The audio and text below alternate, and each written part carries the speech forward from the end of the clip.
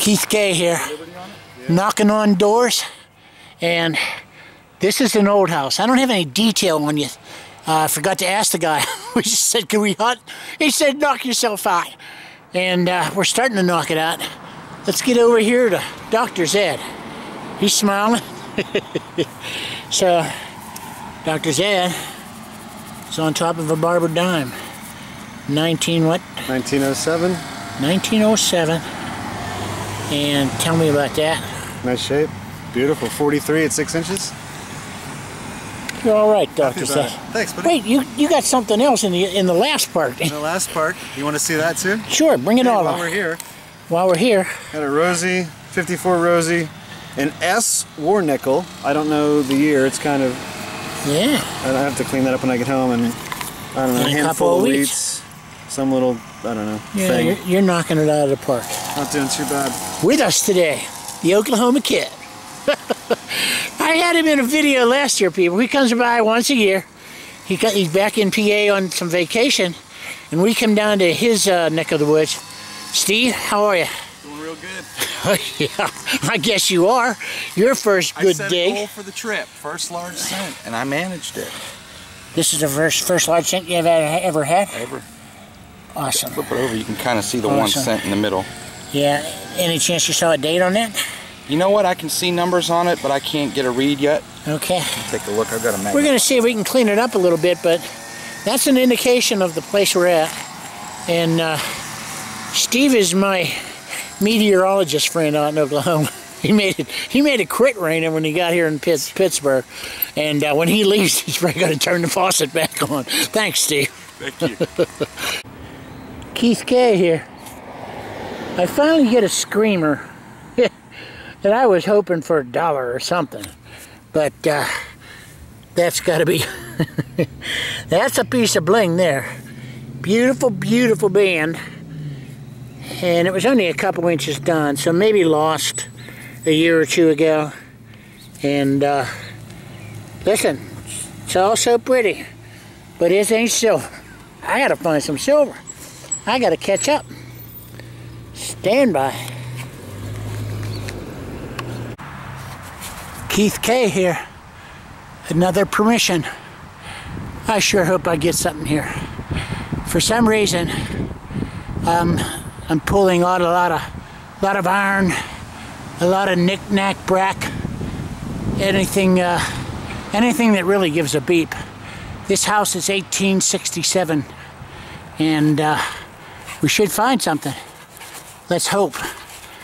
I just want to say, I'm without my own coils. I had to send both the 17 and the stock coil back to Minelab. They were cutting um, and rubbing on the shaft. I hope to get my new coil soon. Oh, please, I don't want to use this 17 anymore. It's killing me.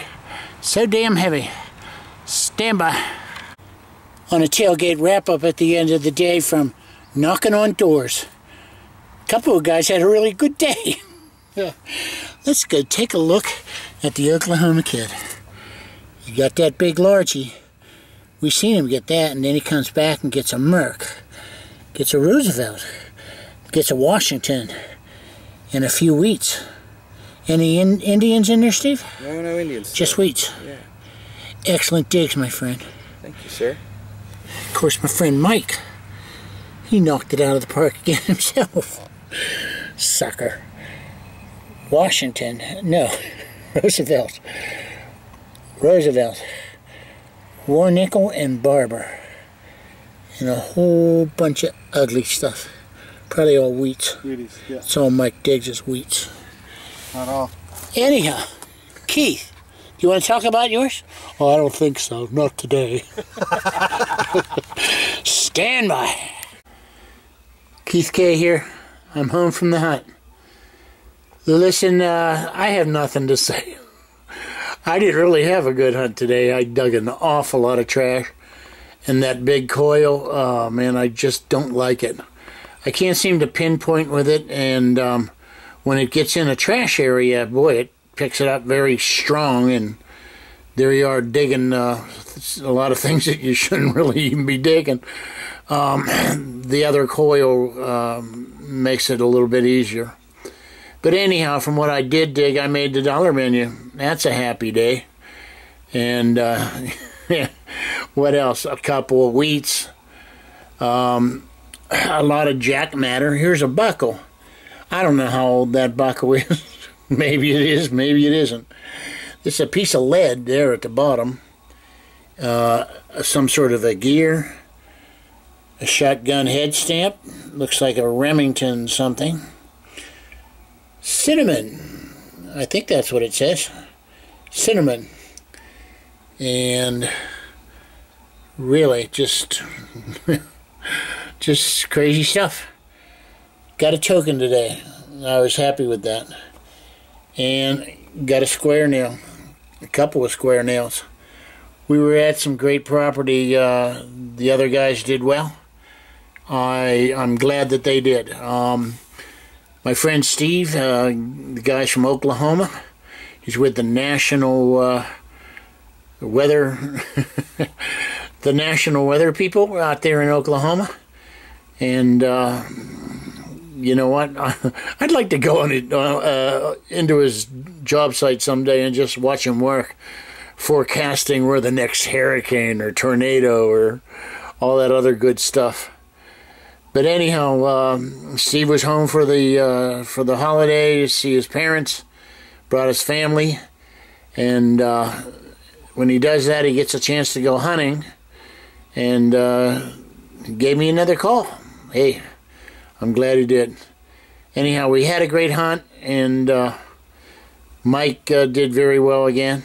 So Mike always does well, and my coils it was my bad, people. I um, I had my shaft on my CTX turned backwards, and I strung the coil through the shaft. And because it was turned backwards, it ended up cutting my coils and uh, rubbing on the coil, wiring, and limiting what I can do. Uh, Minelab uh, uh sent me my repair. Um, I think they're two new coils, and trust me, it won't happen again.